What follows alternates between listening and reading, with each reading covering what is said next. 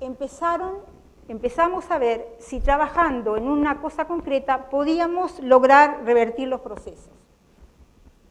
Se propuso ese barrio por lo que le decía Sam antes, porque podíamos medirlo. Ahí lo tienen con su bienvenido al barrio de paz.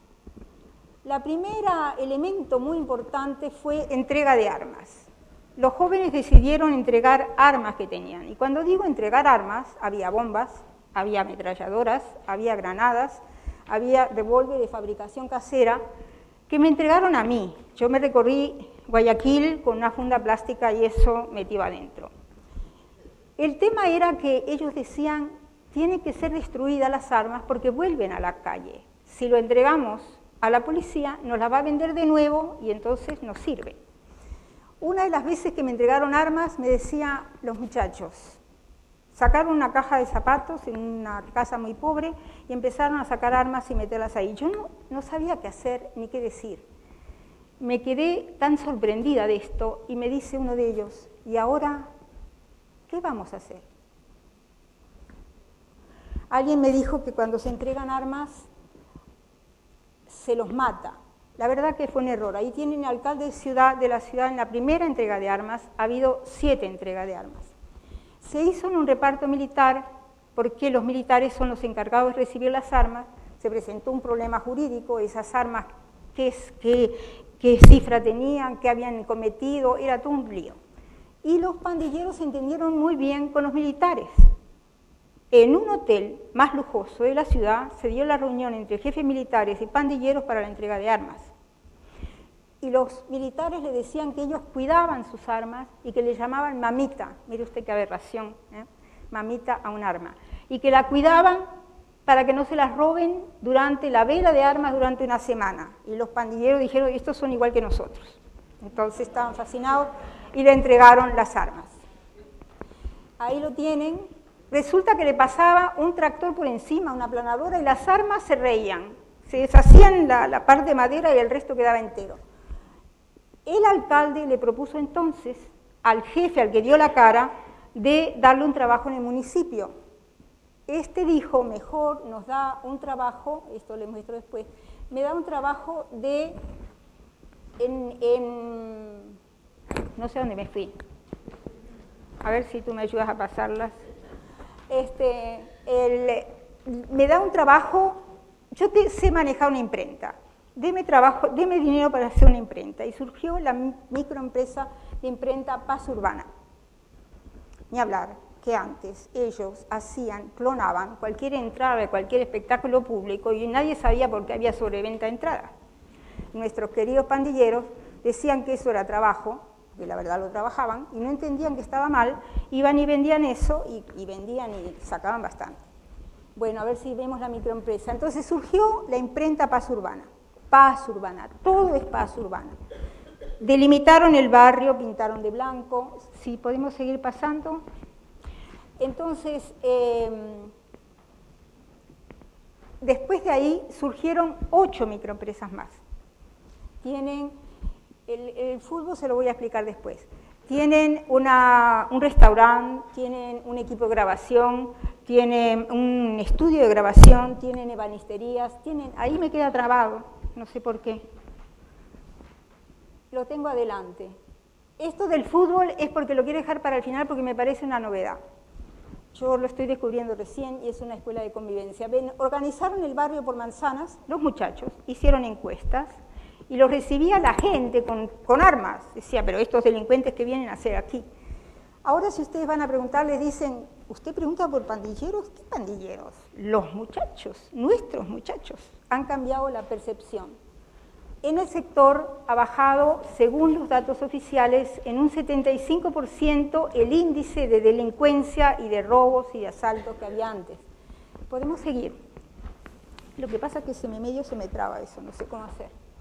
Bueno, ven, esos son los boletines que sacan ellos en su famosa imprenta. Si sigues, ves, y ahí se me vuelve para atrás. Este, yo sigo y después si lo encontramos. Formar un centro de agrupaciones juveniles. en ese centro de agrupaciones juveniles eh, hay muchos eh, grupos. Los grupos tienen territorios, cada uno defiende su territorio y entra en guerra con el que se mete. Por ejemplo, hasta aquí es un grupo, pero si allá está el otro grupo y se mete en mi territorio, no va. Tengo que pedir permiso. Si no pido permiso, es declaratoria de guerra. Es un sistema absolutamente piramidal y militar, con un general, coroneles, sargentos y tropa. Tienen conscripciones, demoran un año en ser parte de esto, tienen pruebas que pasar, y esto le da una cohesión impresionante. Pero nosotros, los que estamos afuera, los blancos, diría mi compañero anterior, ¿eh? los que no somos de acá, no entendemos nada de lo que sucede ahí. Es realmente una cultura con sus propios códigos, su propia música, sus colores, cada grupo tiene un color. Si escriben algo en una pared todo el mundo lo entiende, los unos son amarillos y negros, los otros blancos y rosados, los otros celestes y blancos, el de allá es negro con azul. No sabemos, no entendemos, lo tenemos en nuestras propias narices y son clandestinos y tienen fuerza. Son 60.000 jóvenes que son súper organizados. Cuando decimos no hay organización, ¿dónde no la hay? Los adultos no la tenemos, estos la tienen. Entonces, ¿cómo hacer para que esto se convierta en otra cosa? Les dimos cursos a los líderes. Empezamos por intentar conocer dónde están los líderes. El líder es difícil de, conocer porque es el último que habla. Cuando uno ve que habla mucho alguien en una pandilla, dice, este es el líder. No. El líder se guarda como los japoneses cuando negocian para el final. Cuando alguien dice algo y los demás dicen, sí, ahí tiene usted el líder. El que habló más es el lugarteniente, que mire las cosas. El líder lo reservas. Entonces, cuando el líder habla, ahí lo descubre, pero nunca va a decir que es líder. Entonces, les dimos cursos para ser mejores líderes en la universidad, con aire acondicionado, con diploma incluido. ¿Y qué pasaba? Tenían que demostrarnos en sus grupos que aplicaban lo que aprendían como liderazgo. Entonces, salir a, los, a los grupos, descubrimos algunas cosas interesantes. Se reunían en iglesias evangélicas y de las otras que les daban las llaves creyendo que esto iban a rezar. Resulta que tenían todas las reuniones de pandillas habidas y por haber. Ahí descubrimos cómo pasan la cadena de mando para España, por ejemplo. Los de acá le pedían que le cedan, le pasen los collares, las cosas, y los demás le daban autonomía a sus pares de aquí. Es decir, empezamos a descubrir un mundo que nos tenía absolutamente embobados y no sabíamos lo que era. Uno de esos muchachos está recibiendo actualmente un masterado en manejo de conflictos de la Universidad Abierta de Cataluña, porque lo conocieron y vieron la capacidad que tenía. Ese chico entró preso, eh, entre las veces, y quería que yo diga que lo conocía. Si yo digo que lo conozco, la policía, que, no, que funciona de ciertas maneras, podía dejarlo libre. Pero yo dije que no lo conocía porque realmente había cambiado el nombre conocía la cara, conocía la familia, pero a él no. Este nombre no sé quién es, dije yo.